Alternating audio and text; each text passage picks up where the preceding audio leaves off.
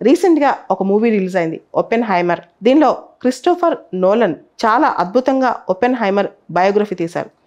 Oppenheimer is a father of atom bomb atom bomb పితామహుడు అంటారు. ఆయన ఒక భౌతిక శాస్త్రవేత్త ఫిజిసిస్ట్ అనమాట అసలు ఈయన వెనకాల కథ ఏంటి? ఆయన Manhattan project America nuclear bomb తయారీ ప్రాజెక్ట్ని లీడ్ చేశారనమాట సో అటువంటి వ్యక్తి ఆ, మీద సినిమా వచ్చిందనమాట అయితే ఆ సినిమా ఇంకో విషయంలో కూడా కాంట్రవర్సీలో ఉంది. ఏంటో కాంట్రవర్సీ అంటే ఆ సినిమాలో ఒక అసందర్భమైన అసభ్యకరమైన సన్నివేశంలో భగవద్గీతను చూపిస్తారంట.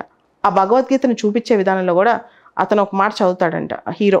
నేనే మృత్యువును లోకాలను నాశనం చేసే సర్వం సహాశక్తిని అని.